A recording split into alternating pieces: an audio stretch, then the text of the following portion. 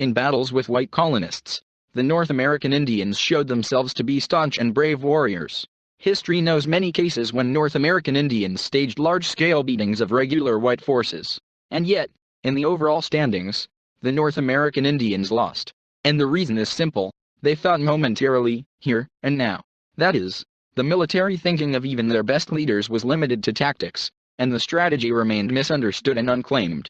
And a good example of this is the defeat of the 1000th Detachment of General Arthur St. Clair. Historians single out a lot of battles between North American Indians and whites, but, in fact, it was one single, ongoing campaign that began immediately after the first Europeans landed on the mainland and ended somewhere only by the beginning of the 20th century, and many conflicts, considered as independent ones, can be safely represented as separate battles with complex preliminary maneuvers within the framework of one conflict. And here, in terms of duration, events easily overtake the Hundred Years' War, which, as you know, also did not suffer from a linear development of the action. Well, the peak of hostility came at the end of the 18th century. Moreover, even the American Revolution did not stop the conflict with the Indians, although at first the events on the Anglo-American fronts developed not at all fun for the colonists. By 1785, the colonists had pushed the Indian tribes to the west, and those accustomed to internecine hostility suddenly discovered the ability to consolidate, which is not surprising, just the eastern tribes were forced to occupy the former territories of the western tribes, and all those who were moved had to choose their enemy. Whites, of course, did not doze off either. They had no intention of sharing the conquered lands with the Indians, as well as stopping expansion. But there were clearly not enough forces for a large-scale conflict, and they acted extremely simply and effectively, moving deep into the North American Indian territories slowly, but inevitably. The technical side of the issue looked something like this. A fort was set up on the territory of the North American Indians, part of the garrison of which began regular raids on native settlements. Moreover, those were deliberately chosen where at the current moment there were not many soldiers. In this way, the U.S. Army minimized its own losses and steadily undermined the economy of the North American Indians. And sooner or later the North American Indians were forced to make room again. And yet, such tactics of the whites left their mark on the Indian art of warfare. Many leaders began to understand that it was not enough to be brave directly in battle. It is also required to understand the enemy, to be ahead of his actions at least a step, for which it was necessary to organize regular monitoring of enemy strongholds, in order to block or mitigate his raider attacks. The change in thinking on the Indian side did not go unnoticed, although the white soldiers did not immediately understand the essence of the changes. But the consequences were felt especially after the combined forces of the Indians staged a demonstrative beating of General Josiah Harmar in 1790. True, the general himself was largely to blame for the defeat. President Washington decided that it was worth teaching the provincials the lessons of modern warfare and sent to the West General St. Clair, who came from a family of merchants and once trained as a doctor, but during the recent struggle with the British showed himself as a brave and efficient military leader. The new commander had about 2,000 soldiers at his disposal, not God knows what by the standards of Europeans. But in those parts there is a considerable force. In fact, Mr. General commanded almost half of the entire then American army. But the triumph somehow did not work out from the very beginning, since there were only 600 regular soldiers, badly trained, another 600 militias and 800 temporary conscripts.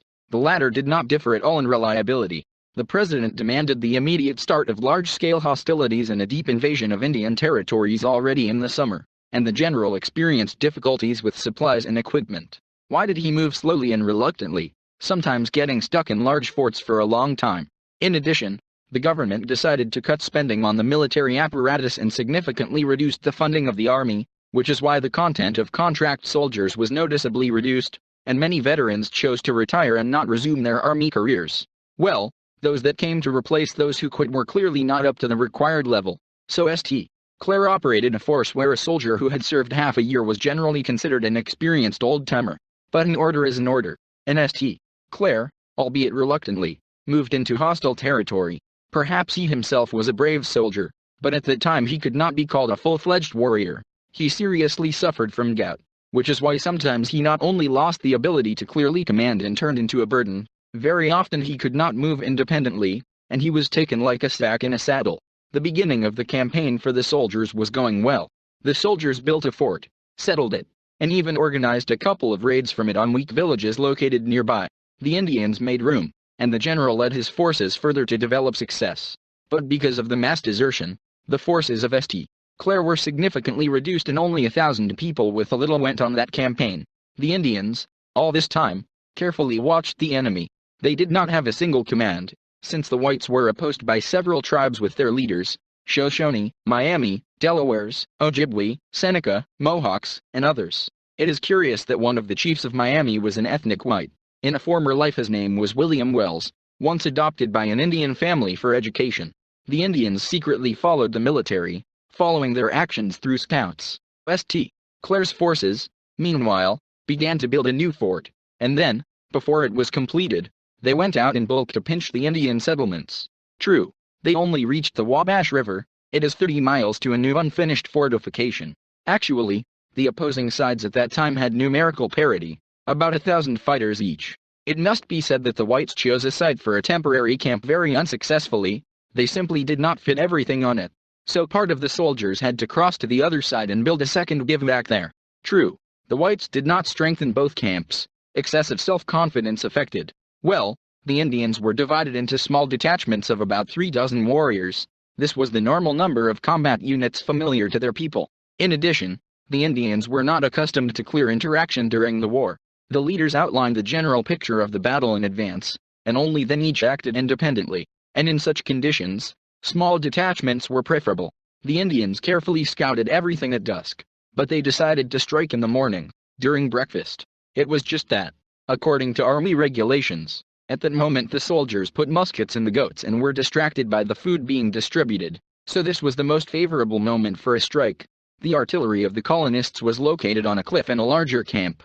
Moreover, it was divided into two groups, facing in opposite directions. It turned out that the guns stood in the center of two lines, and to counter the artillery, the Indians allocated a separate detachment under the leadership of the same white who accepted the Indian dogmas. The first blow fell on the militias who crossed to the other side. They did not offer any resistance and simply panicked, dropping their weapons and rushing across the river again to rejoin the main forces. At this time, the Indian warriors carefully shot the crews trying to pull their guns into combat positions, and they never fired a single shot during the battle. The soldiers under the command of St.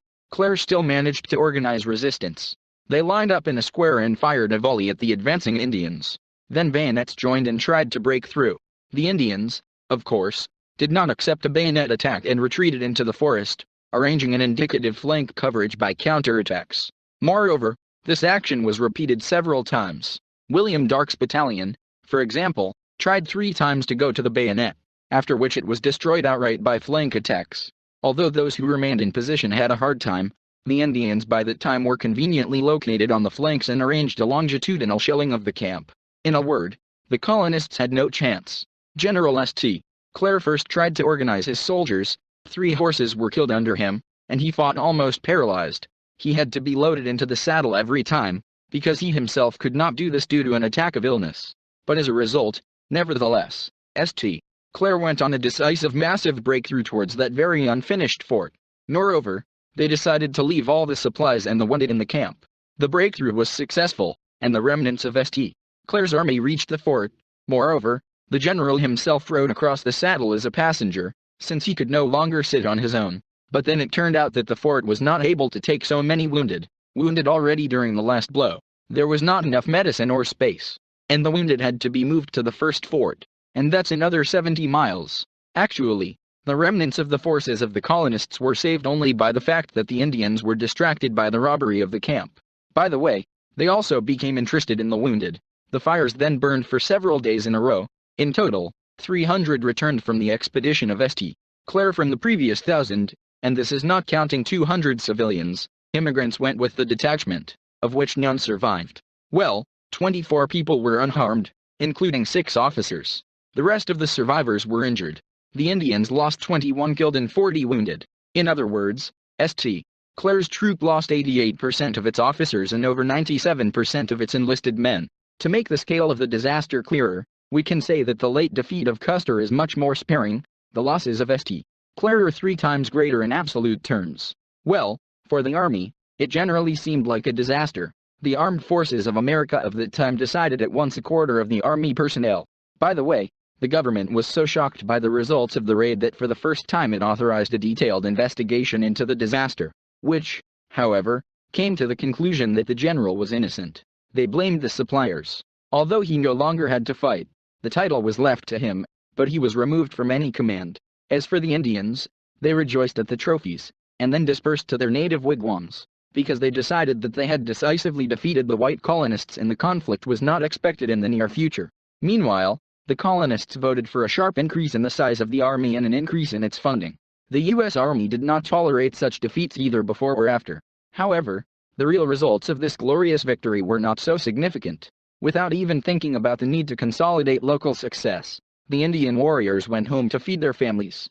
They perceived the military campaign only as an episode of their lives. Unlike whites, they simply did not know what strategic planning was. In addition, their wars were never fought to completely knock out a competitor, therefore, by winning individual battles, the Indians lost the war as a whole. It never occurred to them to infect blankets with smallpox or completely kill the buffalo population.